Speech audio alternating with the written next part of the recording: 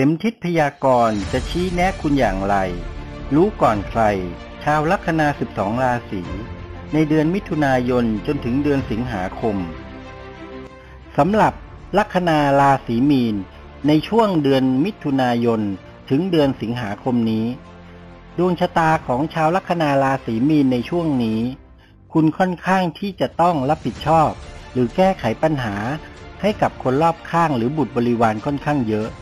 ช่วงนี้คุณมีความคิดที่จะเริ่มต้นโครงการใหม่ ๆ อาจจะมีการลงทุนอะไรใหม่ ๆ หรือมีช่องทางใหม่ ๆ ที่คุณคิดที่จะลงทุนลงแรง คุณเป็นคนที่มีความรู้ความสามารถใช้สติปัญญาในการวางแผนชีวิต คุณมีความที่ตั้งใจที่จะทำให้เกิด ความมั่นคงให้กับชีวิตครอบครัวและตัวคุณเองค่อนข้างมาก ดังนั้นหากคุณยังเป็นคนแบบนี้อยู่ ก็ไว้ใจได้เลยว่าภายใน 3 เดือนนี้ คุณจะไม่พลาดอย่างแน่นอน เพราะคุณได้ก้าวย่างอย่างมีสติและมีความคิดผ่านการพิจารณาไตรตรองของคุณได้อย่างดีเยี่ยม เพียงแค่ว่าคุณอาจจะเบื่อ เกี่ยวกับคนที่คุณจะต้องรับผิดชอบแทน หรือใครก็แล้วแต่ก่อเรื่องและให้คุณมานั่งแก้ปัญหาให้กับตัวคุณเอง ดังนั้นช่วงนี้คุณอาจจะต้องผ่อนคลาย หรือพยายามทำทุกอย่างให้อยู่ในสายตาคุณ ก็จะช่วยได้มาก ช่วงนี้ญาติพี่น้องคุณ อาจจะนัดคุณเที่ยวเตะสังสรรค์หรือค่อนข้างจะทำกิจกรรมร่วมกับคุณได้เป็นอย่างดี มีความสนุกสนานในครอบครัว มีความชื่นอกชื่นใจชื่นมื่นทำกิจการร่วมกันอย่างมีความสุข บุตรหลานบริวารช่วงนี้ คุณอาจจะต้องดูมากเป็นพิเศษ เพราะบริวารช่วงนี้บางคนก็อาจจะสร้างปัญหาให้กับคุณได้ หรือคุณอาจจะมองเขาผิดผิดถูกถูกยังไม่แน่ใจว่า เขาจะทำงานให้คุณสำเร็จได้หรือไม่ ช่วงนี้ส่วนใหญ่แล้ว ปัญหาที่อาจจะเกิดขึ้นอาจจะเป็นเพราะคุณใส่ใจกับตัวเองมากเกินไป และมอบหมายงานให้กับคนอื่น โดยที่เขายังไม่มีความสามารถเพียงพอก็อาจเป็นไปได้ ดังนั้นในช่วงนี้ก็อยากบอกคุณว่า ขอให้คุณ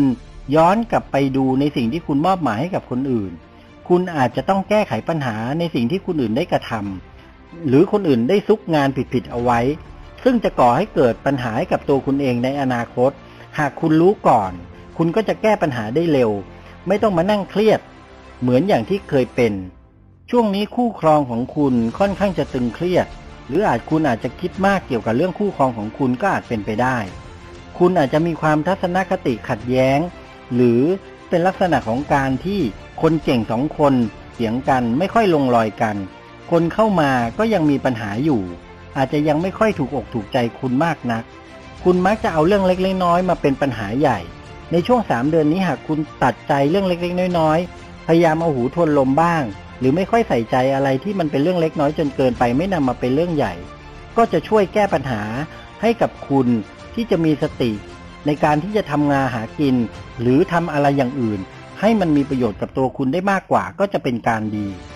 ในเรื่องการงานการงานของคุณช่วงนี้คุณจะได้รับแรงสนับสนุนจากผู้หลักผู้ใหญ่ผู้บังคับบัญชาของคุณดีมาก รวมทั้งเขาจะให้ความเอ็นดูคุณ อาจจะให้รางวัลหรือของขวัญกับคุณ ในความสำเร็จที่คุณได้มีความตั้งใจ และผลประกอบการ หรือผลงานที่คุณได้ลงมือลงแรงด้วยความสามารถของคุณเอง ช่วงนี้คุณจะมีชื่อเสียงจากสิ่งที่คุณได้ลงมือลงแรง กับสิ่งที่ผ่านมาค่อนข้างเยอะหรือเหนื่อยมากทำให้คุณบางทีอาจจะเริ่มท้อถอย แต่เชื่อเถอะว่า ในสามเดือนนี้สิ่งที่คุณลงแรงไม่เสียเปล่าแน่นอน ลาบยศชื่อเสียงที่คุณจะได้รับมาจะได้รับมาแบบคาดไม่ถึง และจะเกิดความมั่นคงให้กับตัวเอง ทั้งนี้เข็มทิศอยากจะชี้นำคุณว่า